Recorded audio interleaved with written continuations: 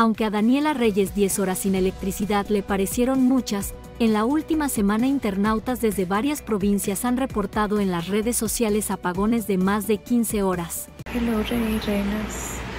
Bueno, me desperté hace un ratito. Eh, ya estoy en Cuba.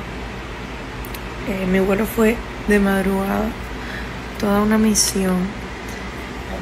Estuve, me, lo, me dormí ayer a la una de la mañana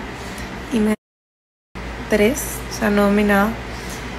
Y bueno, nada, llegué aquí a Cuba a las 9 de la mañana y mi recibimiento fue un apagón de 10 horas. Maravilloso, suerte que, o sea, la quitaron a las 8 de la mañana y yo llegué aquí como a las 10 y media.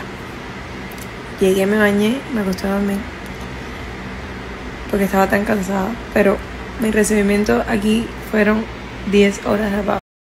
Daniela Reyes está de regreso en Cuba, y a su llegada la esperaba un apagón de 10 horas, una realidad que le recordó de inmediato las dificultades que enfrenta el país. Después de una madrugada en el aeropuerto, la influencer compartió su experiencia con sus seguidores en Instagram.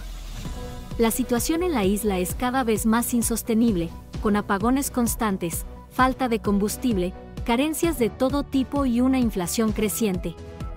Aunque 10 horas sin electricidad le parecieron excesivas a Daniela, muchos cubanos están enfrentando cortes de energía que superan las 15 horas diarias.